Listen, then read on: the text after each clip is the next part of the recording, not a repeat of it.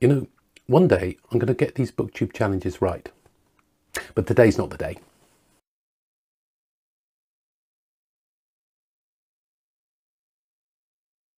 Hello, I'm Tim and I have too many books. I found another booktube challenge to have a go at and fail at. Uh, it's called Cloak and Dagger Christmas and the prompts in this challenge are based on the song The 12 Days of Christmas. Uh, six of the prompts are about um, books and six of the books are about sort of mental health and pampering yourself.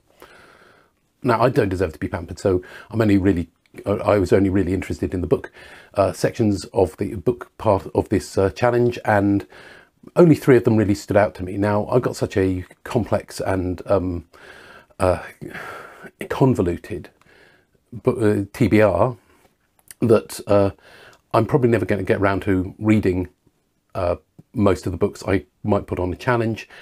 But everything I'm going to mention today is either I've either read it or um, if it's not on my TBR now, it's notionally on my TBR in the future. But because my TBR is so large and long and so far in the future, um, you know, I start to, having to think whether or not I'll still be alive to read some of these books. It's a rather depressing thought. Anyway, um, this challenge is hosted by Kate Howe, Janelle at Tufon Books, Kate at Novel Nomad, Melanie Martin, and Carolyn from Carolyn's Reading Ramblings. Uh, I've picked uh, three of these challenges to to uh, recommend books for because you know that's all I'm good for really and they're all based around the lines and the gifts given in the song The 12 Days of Christmas. We start with a partridge in a pear tree and this uh, prompt is all about picking uh, books with alliterative titles. Now all the books have to be um, detective novels and we're usually going towards the cosy side of detective or mystery novels rather than the hard-boiled side of detective or mystery novels. And my first book is uh, Duplicate Death by Georgette Heyer. Now, Georgette Heyer, um, somewhat controversial for her private life, views in her private life, which don't always um, translate over to her books. Uh, this is one of her detective novels. Um, her detective novels were uh, often plotted out by her husband, who was a barrister, and then she would um, basically fill in all the character bits and all the you know and all the interesting bits of the story. Uh, she is best known really for pioneering um, Regency romance. Uh, if you've read any Regency romance, they're probably uh, copying Georgette Heyer more than they're copying uh, Jane Austen. The next book is uh, Josephine Tey's The Singing Sands. Uh, this is the sixth in her Inspector Alan Grant series of books. Um, Josephine Tey, best known for The Daughter of Time, um, uh, Brat Farrar, The Franchise Affair, Miss Pym Disposes. Uh, she has actually had her own detective novel series uh, written by Nicola Upson, which um, has uh, Josephine Tey solving her own mystery murders, mysteries and murders, etc. And it is rather annoying because if you're looking up Josephine Tey, um, you may want to read, be reading Josephine Tey rather than Nicola Upton, uh, Upson, because uh, although those books are fine, you know, you kind of want Nicola, Josephine Tey instead. The next book is Diamond Dust by Peter Lovesey. Uh, Peter Lovesey created his character Peter Diamond. He is a, a detective mostly based in the city of Bath and uh, it's a long-running series of novels. Um, Diamond Dust is the fourth or fifth book in the series. We now moved on, on to P.D. James's A Mind to Murder uh, this is one of her uh, Commander Dalgleish novels. Um, Dalgleish is um, a poet as well as a police inspector. Uh, they're very um, introspective, very cerebral, these these detective novels, and um, are absolutely fascinating. I'm gradually working my way through them, uh, and uh, you know we'll get through the whole lot at some point. But they are uh, it's a very long-running series, as quite a lot of these books are. Also, we have Reginald Hill's Pictures of Perfection. This is one of his DL and Pascoe novels. Uh, DL spelt Dalziel um, and Pascoe are um, a couple of ill-sorted detectives uh, working, I think, mostly in Yorkshire, and um, it's a again a lo another long-running series and very entertaining. They made a television series of it, uh, starring Warren Clarke, uh, which is a, a really good um, piece of television. Um, I'm going to briefly mention a couple of the more hard-boiled um, detective novels that you could do. There is uh, Sara Paretsky with her uh, Detective Viola Brushback. Um, again, um, Sara Paretsky, love her to bits, and uh, but Warshawski is very hard-boiled, and you get kind of get the you want more mystery than crime, and these are very definitely crime.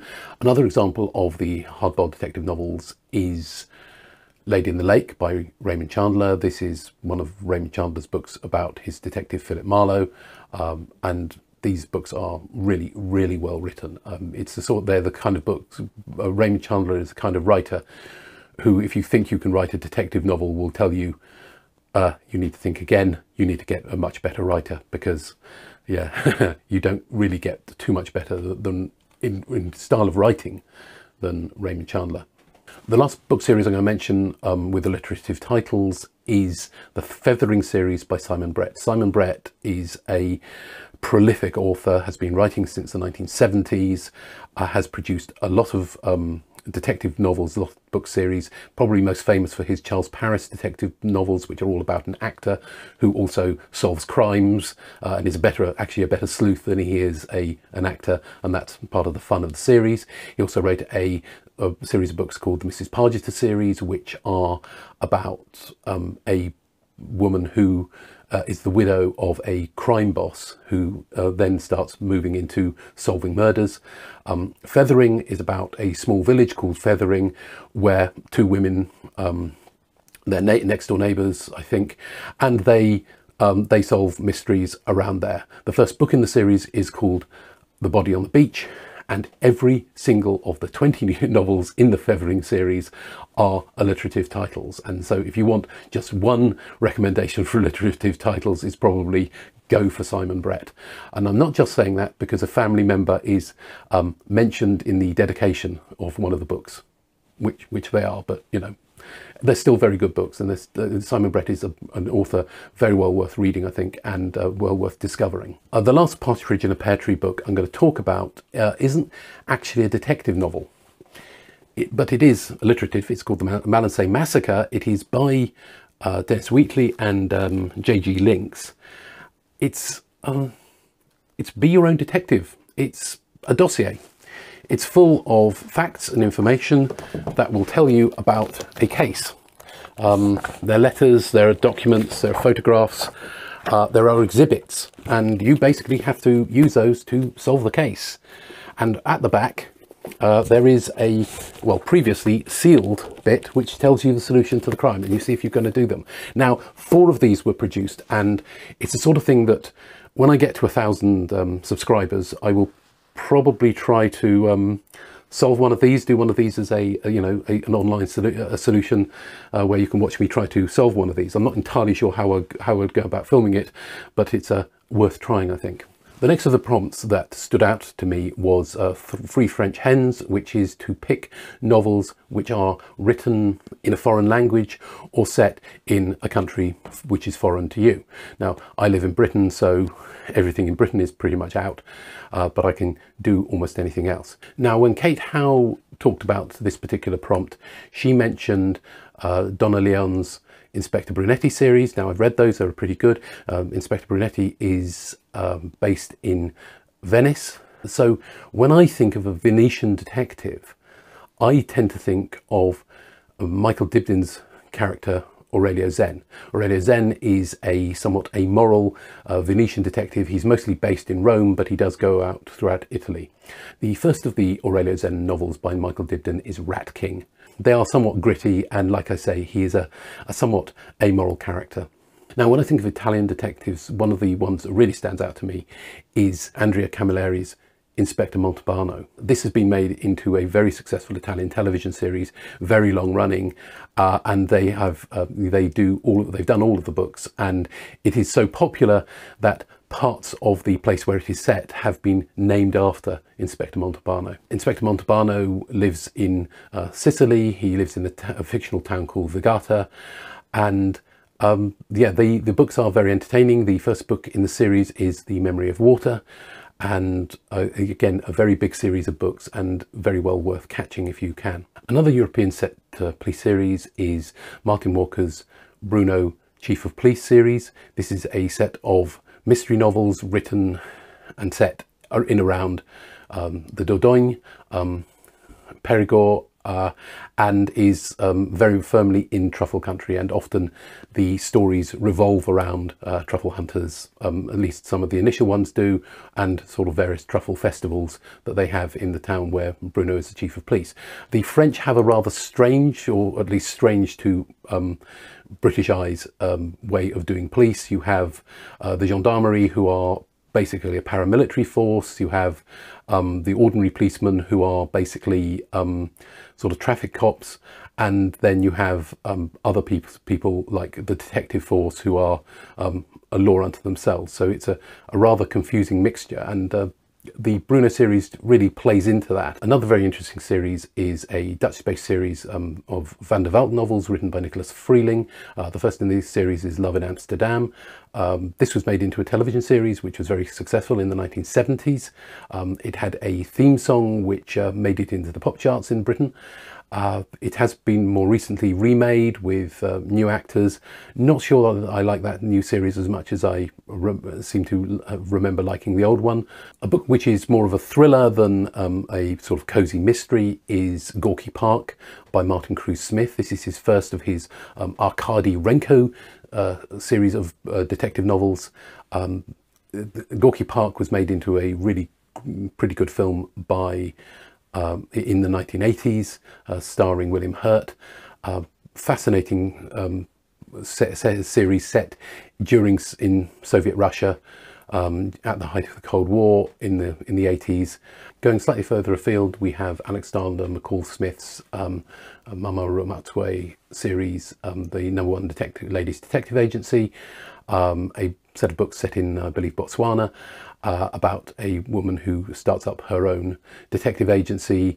There's a series set in India um, featuring detectives uh, Wyndham and Banerjee, set in 1921. These are a series of books by Abir Mukherjee, uh, starting with The Rising Young Man.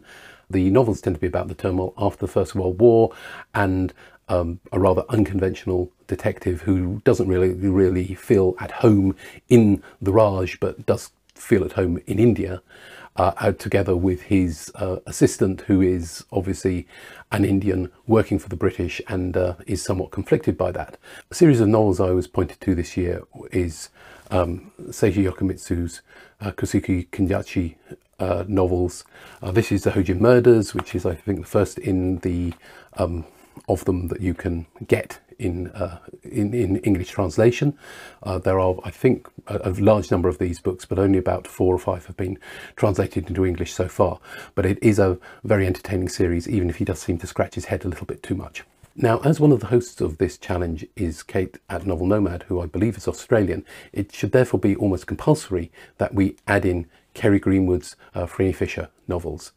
Uh, these are uh, very entertaining books uh, set in the 1920s. Um, Ms. Fisher is a um, former ambulance driver, expert shot, and a, a, really good choice as a detective.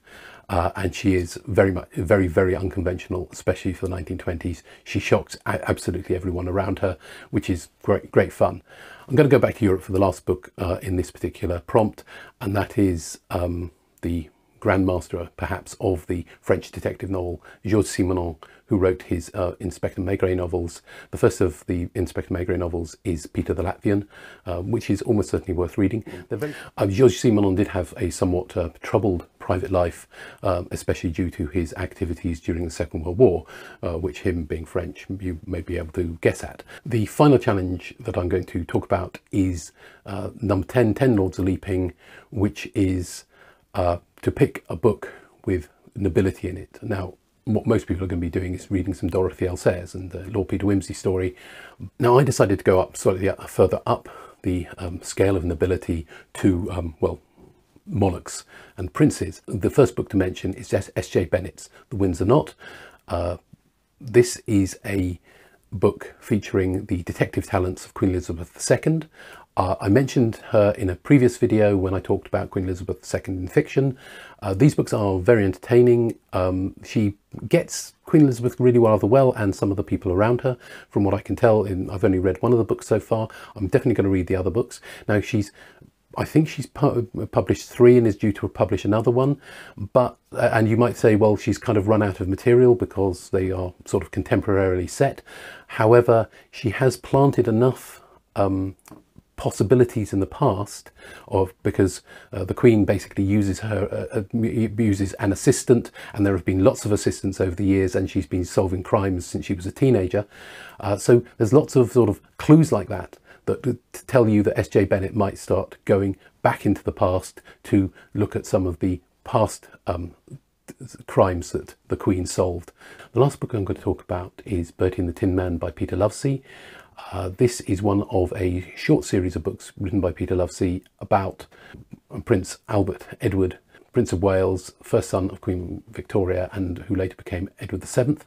He uh, was um, a bit of a scoundrel in his life and perhaps um, a lot worse, uh, certainly in his private life, uh, was certainly very, very unfaithful, had a, a string of mistresses, uh, almost openly and almost quite publicly.